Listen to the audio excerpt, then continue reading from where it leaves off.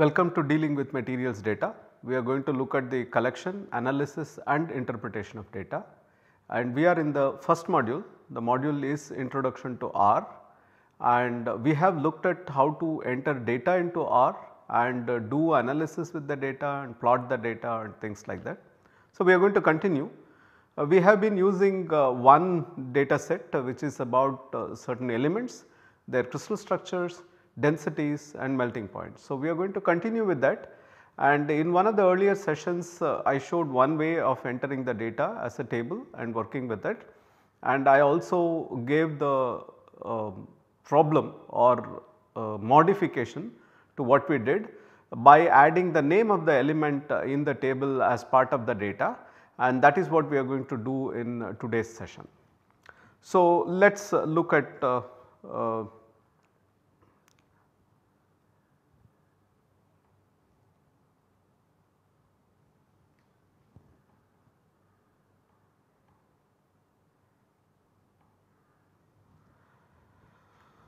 So, we are going to look at uh, tabulated data the second version and uh, just to remind you these are the uh, information that is in the data. So, we are going to consider some elements and we are going to consider their crystal structure whether they are FCC, BCC or HCP, their density that is given in kilograms per meter cube and melting point which is reported in degree Celsius and this data is taken from uh, Raghavan's material science and engineering textbook. So, for FCC we have chosen aluminum, nickel, gold, silver and copper and the two numbers are the densities and melting points respectively. So, and for BCC uh, we are going to consider iron, chromium, molybdenum, vanadium and tungsten and for HCP magnesium, beryllium, zinc, cadmium and titanium. So, this is the data and we want to enter this data and work with it and plot it and so on and so forth.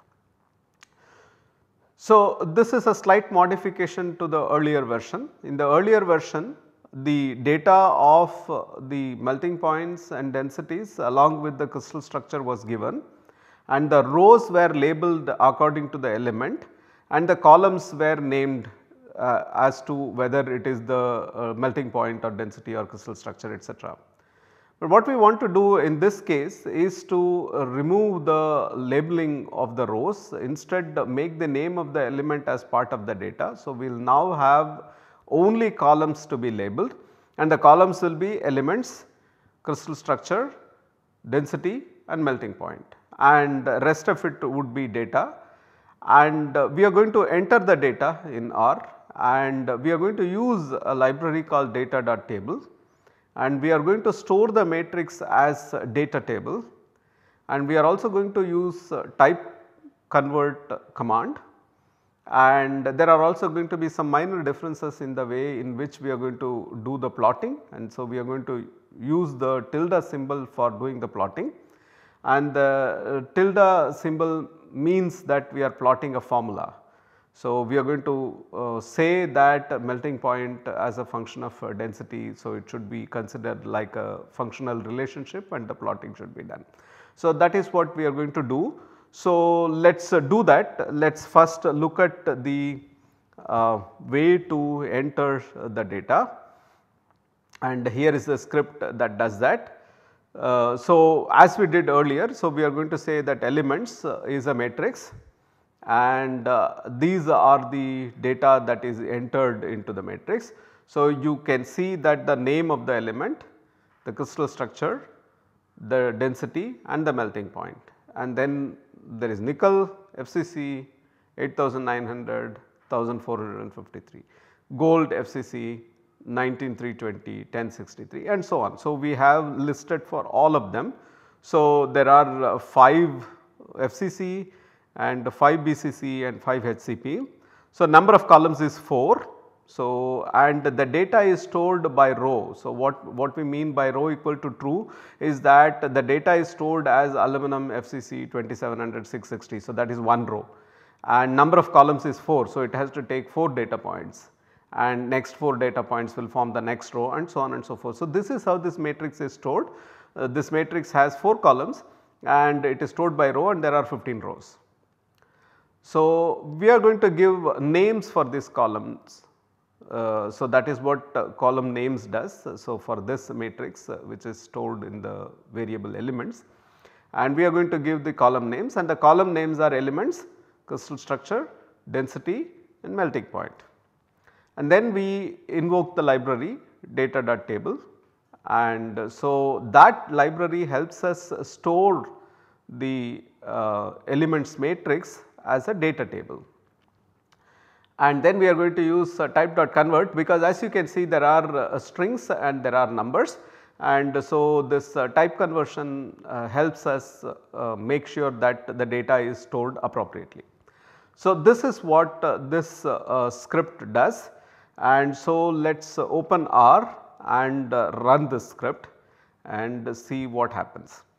So as usual uh, we open R and the first thing we have to check is that we have the right version. So, R version is 3.6.1 Action of the Toes. So, this is what we have been using and I have to know which directory I am in. So, that is done by the command get wd that works for get uh, working directory. So, that is what it stands for and it says I am in home guru.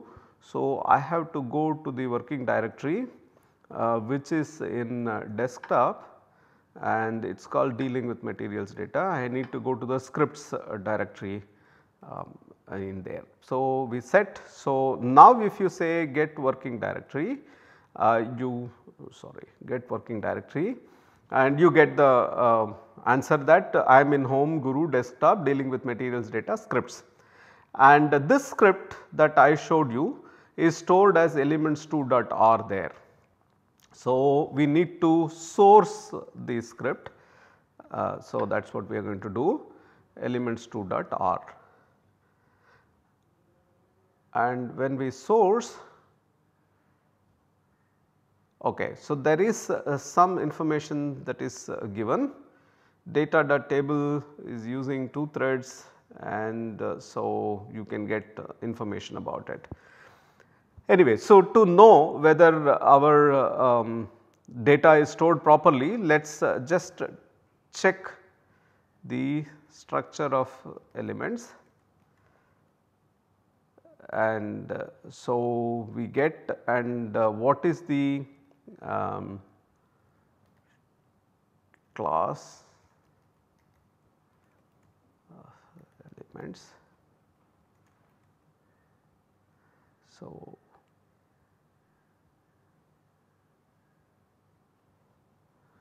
okay, so list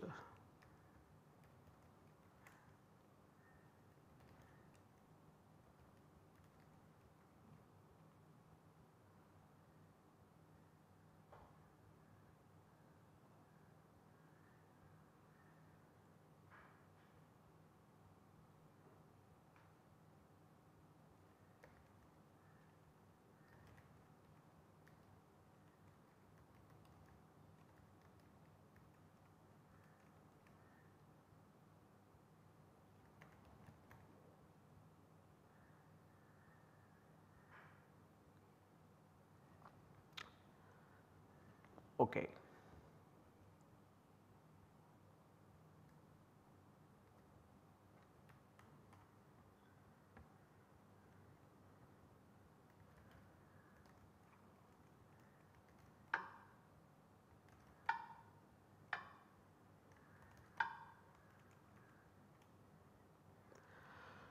So, let us source the elements uh, 2 dot r so, so that is a okay so there is a mistake. So let us uh, source the table okay so we have sourced it and we can check the data uh, elements. So now we can see that uh, the elements is stored as a data table and it has elements crystal structure density and melting point and the elements are named and their crystal structure is given density is given and melting point is given. So, we can also use uh, the uh,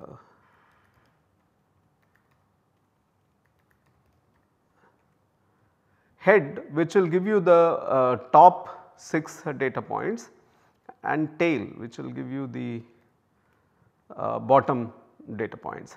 And of course, you can also find out the information. So, it is uh, we have a, a, data table and data frame and it consists of elements, crystal structure, density, melting point and so on. So, you can also use the command class we already know that uh, uh it is going to be um, uh, data table and data frame. So, at this point I want to mention that uh, we store things as table or we can also store as data frame which is what the next session we are going to do. And uh, it is sometimes favorable to store data as a table especially if it is a very large data uh, that is related to the optimization of the R code and that is one aspect that we are not going to spend too much time in this course. Uh, in fact, we are going to do very little of code optimization. So, this is more of a tutorial version just to learn R and how to work with it, but if you want to make uh, more efficient code you may have to spend more time uh, and, and learn some of these other aspects. So, but, but we are not going to do it uh, um, in, in these sessions. Now that we have the data, so we can try to uh, plot the data. So, to plot the data we are going to say I am going to say that uh, x is um, so, so let us just say uh, x is from the elements the density.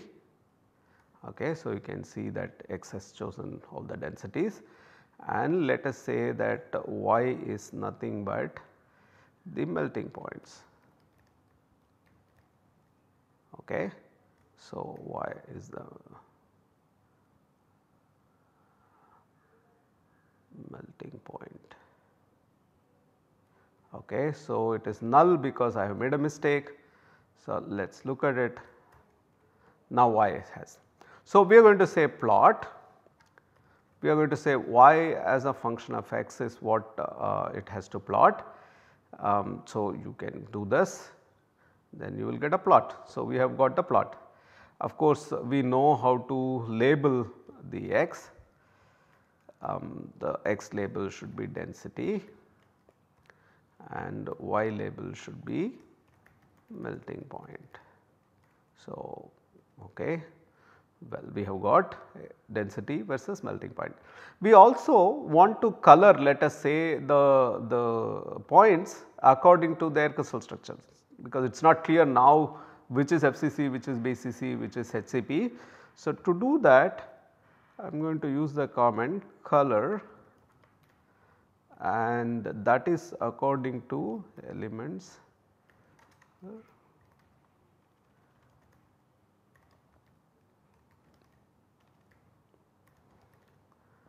Okay, so that is now you can see uh, that there are 3 different colors uh, there are uh, greens and then reds and then blacks and they correspond to the 3 different uh, crystal structures.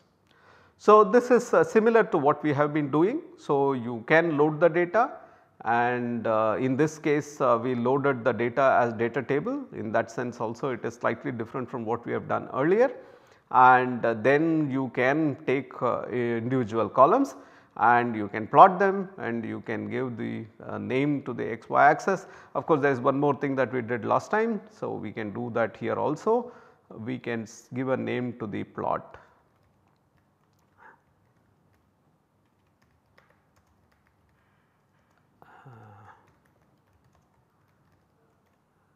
So, we can give a name and as you can see density versus melting point name is given. So, so you can do all these things and we have also color coded the points in the scatter plot to show the different crystal structures. So, there are 3 different crystal structures. So, you see 3 different colors.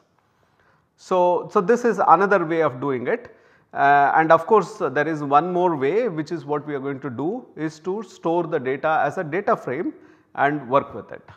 So, that we will do in the uh, next session. Thank you.